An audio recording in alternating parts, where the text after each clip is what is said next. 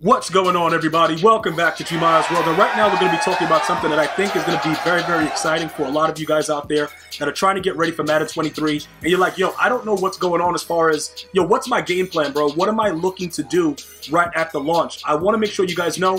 Follow me on Twitter, Instagram, Facebook, and Twitch, all at GmiasWorld to stay up to date. You know, starting now, you know, getting ready for the Madden 23 season. But we already know that, I think, what, what's the dude's name? Trent Williams He's he's like an old lineman. He's going to be a 99 overall player. Um, I'm going to talk to you guys about that and what it means for Madden Ultimate Team because a lot of you guys don't realize that based on the rankings of the regular players, you get a little watered down version to start MUT because MUT obviously they're going to gradually increase the overall. So Trent Williams, we'll take a look at what his card was uh, for this year, and you can get a kind of an idea of what's going to happen. More than likely, he's going to probably be like an 88 in MUT to start because he's going to be a 99 overall in the regular game.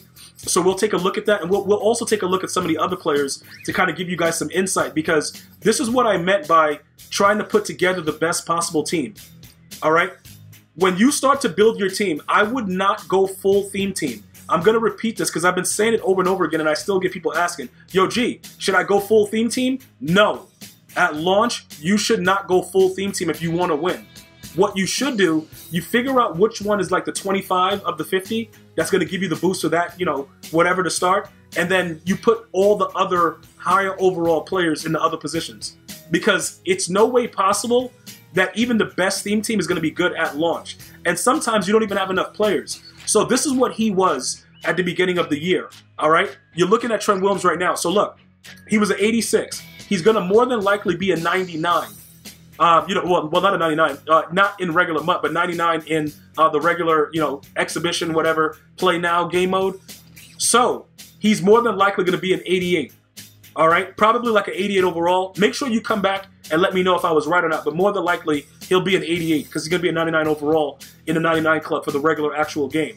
All right, this is a card that you're going to want to have because if you played the beta, you know dudes are coming around the mountain when she comes. It they run right in, and they were sacking me instantly, even though I didn't lose uh, in any head-to-head games because pretty much you just block everybody and throw a streak. But he's going to be a really, really good offensive lineman. So what we can do, we can figure out based on what they're going to give us next week when they start dropping the ratings, what our ultimate team is going to be.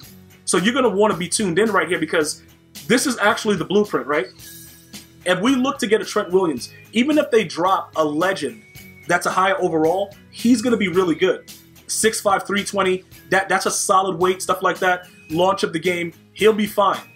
So I wanted to make sure that you guys knew, like, like look, understand that you're not going to get the same overall from the regular game to MUT, but you can kind of gauge where you, you know, where you're going to be spending your money and what you're going to need. Now, this player that I'm going to show you next, a lot of you guys were asking about it because, you know, I usually go for height and speed when it comes to wide receiver. So, you know, you guys look at this and you guys know already, it's already been leaked that Tyreek Hill is going to be a 99 speed in a regular game. I think he's the fastest guy in the league still. I, I don't listen. I've watched this guy go from zero to 60 miles per hour in a short like it, it's what like bro within within five ten yards. It's ridiculous, bro. So more than likely, he'll be around this same rate right here. I'm not really sure if we're going to get the same exact stuff out of him, but he should probably be about 89, 90 speed. Now, the next thing that somebody's going to ask, I know it's going to be in the comments, yo, G, should we go Chiefs theme team? Why would you go Chiefs? Actually, hold on, wait a minute. Chiefs theme team. Okay, you got Patrick Mahomes. All right, Patrick Mahomes, boy, but no, no, no. You're not going to go Chiefs theme team. Um, to make him, if he, let, let's say, for instance, he comes out as a 90 speed, right? Or maybe he stays right there. We power him up, we get the plus one because we go 25 of uh, 50 for the Kansas City Chiefs, right? And then we find the strategy cards early on in the year to, you know, get the other boost. He might be a problem. And this is what I want you guys to understand. It's little things like this that's going to have your game one step ahead of your opponents. Because, again, you would have to be a psychopath to go, you know, what? Actually, no, because he's a Dolphin now, too. Do the Dolphins got really good players at launch? All right, look, guys, do me a favor.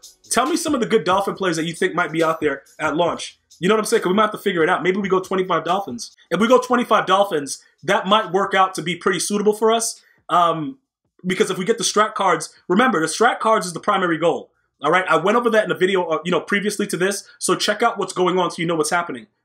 That's plus two speed. If we get the plus one, Because when you power him up, he gets the plus one, and then you go 25 Dolphins, you get another one. He, he might be like 93, 94 speed right off the jump. He definitely could be. Because like I said, they've already leaked the fact that he's going to be a 99 speed um, in the regular game. So now as I'm talking to you guys about it, it actually makes it more enticing.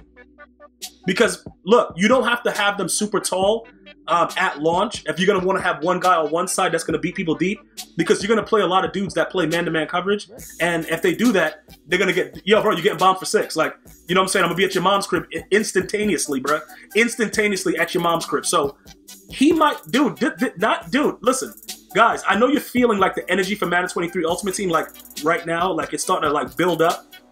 He can be like 93 94 speed he may be a gap. Notice how I said gap, a little like Shannon Sharpe. He may be a gap, bro. A gap? No, no. We, we, listen, all right. No, no. We're, we're, gonna go. We're gonna grab him. We're gonna go up to Tyreek Hill, guys. So he's probably not gonna be an 87 though. I don't think he'll be an 87. I think he'll probably probably be like an 86, 85 maybe. Because I don't know. Like I think his rating's gonna go down a little bit, but he'll be super fast though. So 85, 86. I'm trying to gauge it, but we're gonna go after him. All right. So this is just something that I want you guys to keep your eye on because the faster the receiver at launch, the easier it is going to be for you to win games. It's, it's like point blank period.